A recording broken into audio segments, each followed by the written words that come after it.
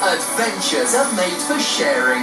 The Good Dinosaur Toys by Tomy sponsors playtime on Disney Junior.